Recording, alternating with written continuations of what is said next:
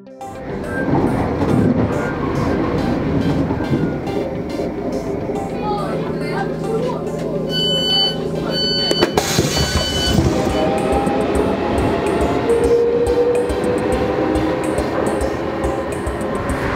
made it back to Canterbury uh, to record Vicki Explores Part 2. But today I'm going to be met by some very special guests. Um, I always like having a guest on an Explore. However, I have come into Canterbury East Station, and as you will know, uh, viewers, being very learned in the ways of the railway, there is a second Canterbury station, and my guests are going to be arriving there. So, which way?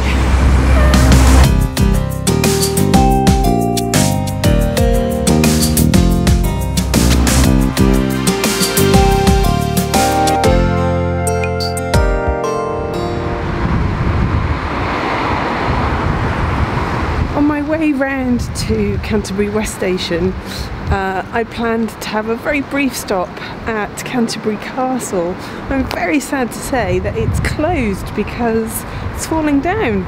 Um, it needs a little bit of repair work, uh, but the castle dates uh, way back, of course, to the Normans. It was one of the very first castles that was built uh, at the request of William the Conqueror, and it was one of the ones that formed a ring of defence around the approach to the City of London. But sadly, can't get any closer than this.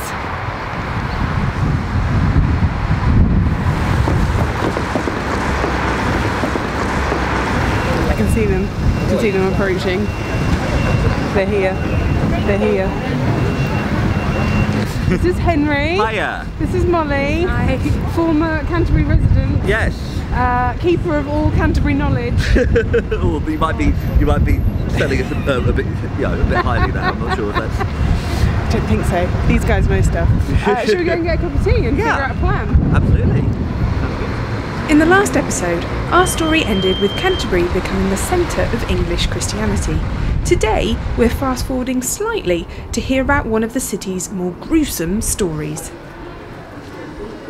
It's a little bit miserable, a bit rainy Little at the moment, but maybe this is a good setting of the scene Sure. to tell this quite dark story. So, uh, it is the end of the 12th century. Yeah. Sir Thomas uh, Becket is the Archbishop of Canterbury. He's brutally murdered.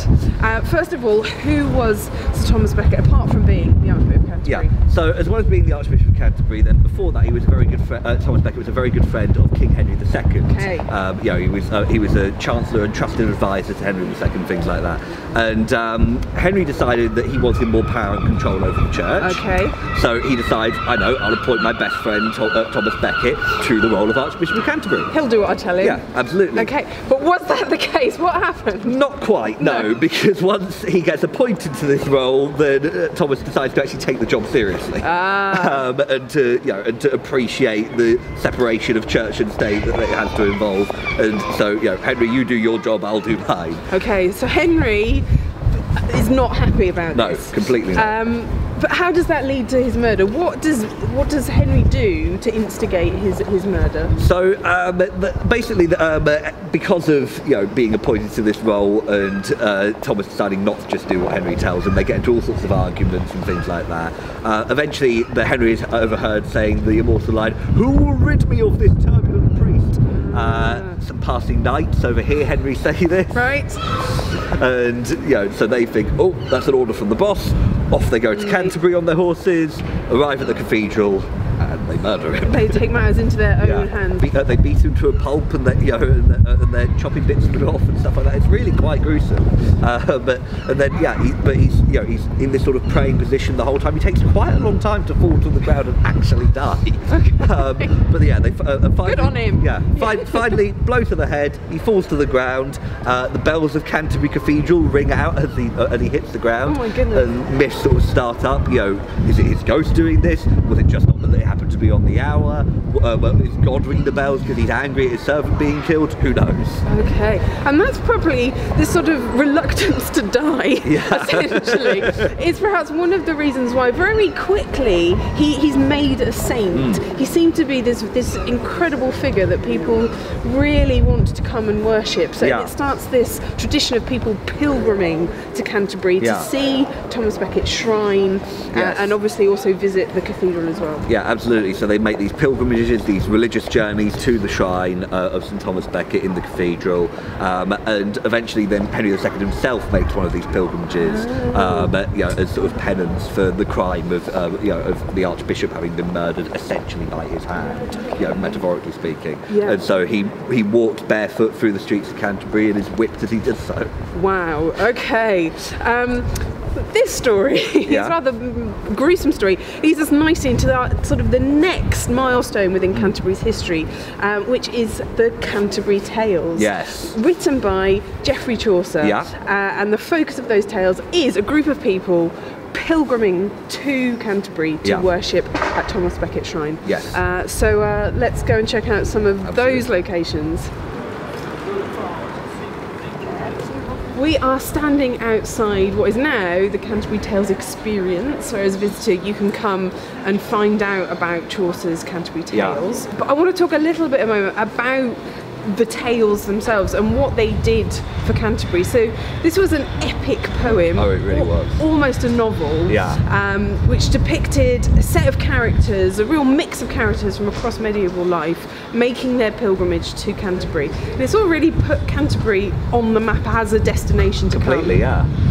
Uh, but yeah, no, it was, you know, it became this really popular tourist destination. I mean, people were already making these sort of religious pilgrimages off the back of, you know, Thomas Becket's murder and things like that. But this book really put things on the map. It's one of the first books written entirely in English. Most books at the time would be written in French or Latin. Uh, English was much more of a spoken language, often spoken by the working man. Uh, so this book was much more accessible to working class people as a result of the fact that it was written in English. Even though Chaucer's tales tell the story of pilgrims on their way to Canterbury, there is one location you can visit that is mentioned in the book. So Henry, this is was now Hardy's sweet shop. Yeah. But what would it have been, and what did it appear in the tales? So, what this would have been back in the days, it would have been uh, the Checker of Hope Inn, which was a sort of hotel where various pilgrims would come to stay. Um, you'd have sort of the lower class, uh, but so you'd have the lower class people on the second floor, richer people on the uh, richer pilgrims on the first floor. Um, I think it used to be said that you could get 500 pilgrims in uh, uh, only 100 beds, so you'd end up with like five to a bed, you know, uh, because of how poor they'd be. But um, this is particularly it's referenced in I think the Tale of Beryn in the Canterbury Tales, which is sort of towards the end. I think it was actually intended as being the first tale for them on their journey back, but the Canterbury Tales has never officially finished. Uh, so it was intended, as I say, as the this was where the pilgrims would have stayed, where the miller, where you know, etc. would have stayed. Though not mentioned in the tales, the Westgate Tower is also likely the gate through which many pilgrims would have entered Canterbury on their way to the cathedral. The Pilgrims Hospital on St Peter Street was built especially to provide shelter and food for any pilgrims visiting the city. Chaucer wasn't the only figure from literary history to be associated with Canterbury. The playwright Christopher Marlowe, a contemporary and likely friend of Shakespeare, was born in the city. He lived with his parents in his formative years at number 57 St George's Street and he was baptised at the Church of St George just a few doors down. Another story of murder and revenge associated with Canterbury is that of Sir Thomas More, Chancellor to Henry VIII. Sir Thomas More, like Thomas Becket, disagreed with his monarch. He refused to acknowledge Henry VIII as the supreme head of the Church of England. As a result, he was arrested and charged with the crime of treason. He was found guilty and beheaded in 1535 in London. Just like any traitor, his head was taken and placed upon a spike across London Bridge. But shortly afterwards, his daughter, Margaret, managed to claim back her father's head and she brought it here to Canterbury, where she had it interred in the family vault at St Dunstan's Church. For centuries, nobody knew of the location of Sir Thomas More's head. That is until the 1800s, when an accident happened at St Dunstan and the lid of the family vault was knocked off, exposing the contents inside. Today, inside the church, you can find a plaque dedicated in memory to Sir Thomas More and a beautiful stained glass window which tells his story.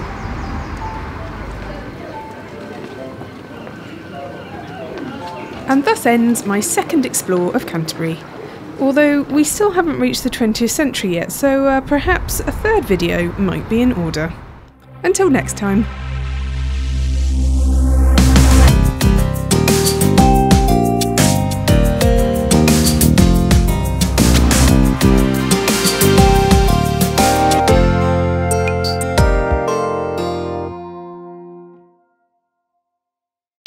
Is a is a is a real cultural hub. Yeah. There's a lot of creativity, artistic stuff Yeah. happening here, um, which I think we can uh, thank Chaucer for. Oh, absolutely. Thank you, Chaucer. Thank you, Chaucer. Uh, on that, I think we'll say goodbye. yeah. Thank you. Thank you. Uh, go and get warm in a pub somewhere. uh, thanks for following. See you next time.